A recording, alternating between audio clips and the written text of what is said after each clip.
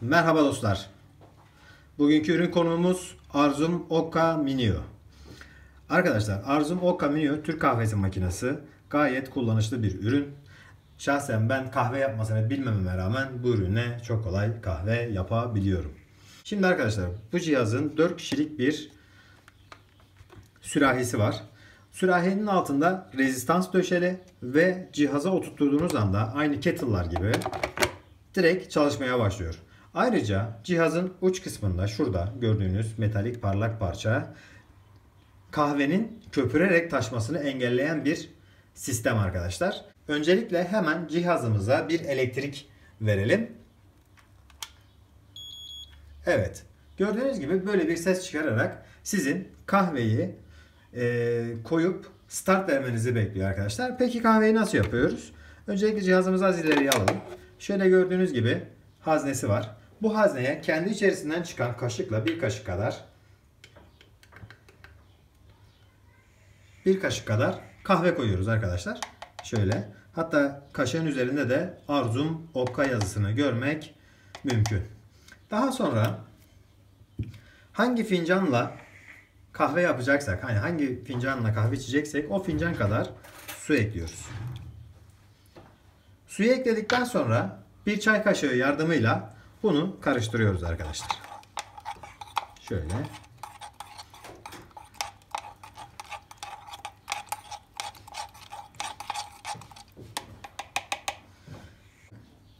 Kahvemizi karıştırdıktan sonra elektrikli sürahiyi yerine oturtturuyoruz.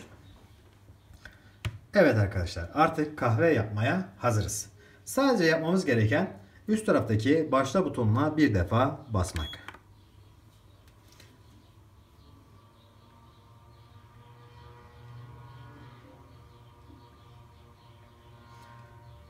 Bu arada gayet küçük bir yapısı var. Şöyle göstereyim ben. Avuç içimiz kadar yani. Şöyle bir ürün. Gayet kullanışlı. Ee, mutfağınızda çok fazla yer kaplamıyor. Aynı zamanda çok hızlı kahveler yapıyor. Yaptığı kahveler genelde köpüklü oluyor arkadaşlar. Ben köpüksüz kahve çok rastlamadım.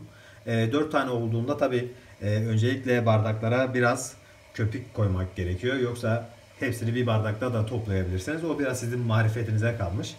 Köpük çok önemli değil diyorsanız e, o da sizin inisiyatifinizde. Hemen hemen kahvemiz olmak üzere ortalama 53 saniye oldu. Ben de ilk defa kaç saniyede yapacak onu merak ediyorum. Şu anda 1 dakika oldu arkadaşlar. Bekliyoruz. Gördüğünüz gibi bir ısınma kaynama sesi geliyor.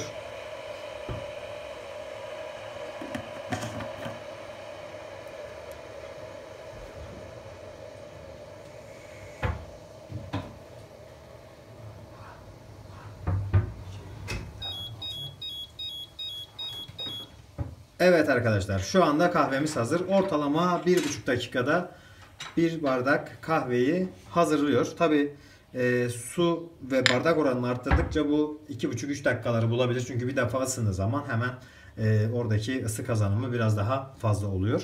Hemen şöyle cihazımızı yan tarafa alıp fincanımızın içerisine kahvemizi